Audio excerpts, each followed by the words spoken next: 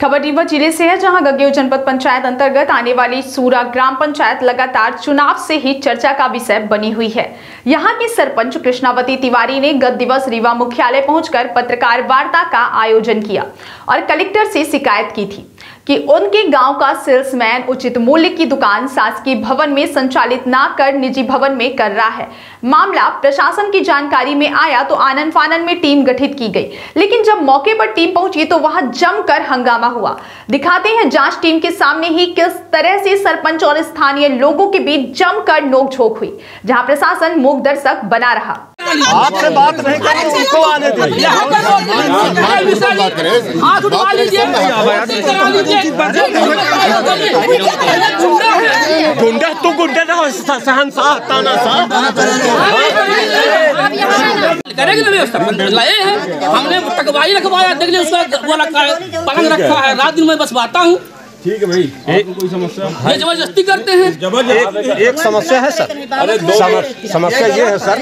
ये सुनिए। पहले पहले व्यवस्था बना ले। नहीं तो जो ये कहते हैं उसकी बात मैं कर रहा हूँ सर। उस बात को सुन लीजिए। ज़बरदस्ती नहीं ज़बरदस्ती सुनो भाई। जी सर जी। हमारी भी बात सुनो भाई। बात सुनेंगे।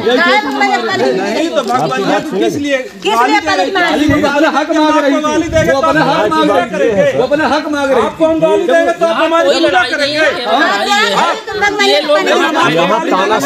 पूजा कोई किसी को गाली देगा तो पूजा नहीं करेगा वो भी गाली देगा। आपको कोई दिक्कत नहीं तो लिख ये कहीं नहीं वीडियो में ना? वीडियो में कहीं ना है कि आप इतना लाएँगे। इतना ब्लैक करते हैं तो आप दीजिए। आप दिखा सुना। पहले यहाँ की स्थिति क्लियर हो जाए कि यहाँ वहाँ की जो समस्या है। मुख्य समस्या। जी जी। फिर हम वॉश मशीन की भी जाँच कर लेंगे, दुकान पे दुकान की मेन समस्या ये है कि जैसे पहले सांस्कृतिक मूल्य की दुकान संचालन होती थी भारत प्रभ पांडे घर से जब नई पंचायत का गठन हुआ तो यहाँ पर ये प्रस्ताव आया कि भाई यहाँ पर मारपीट होगी।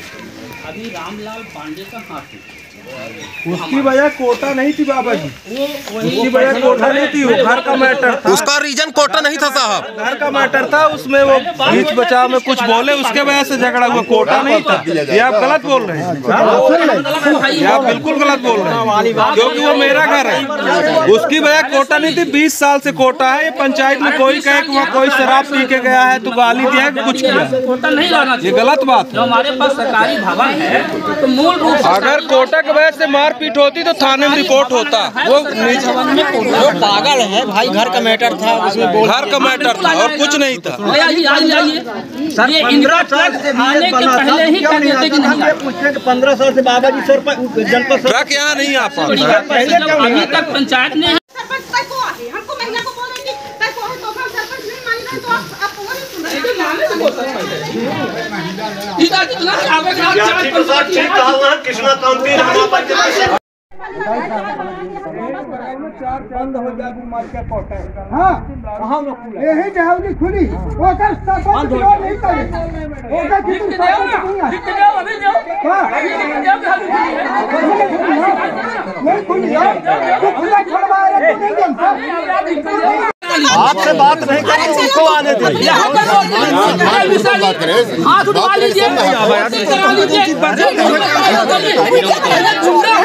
गुंडा तू गुंडा ना सा शहनशाह तानाशाह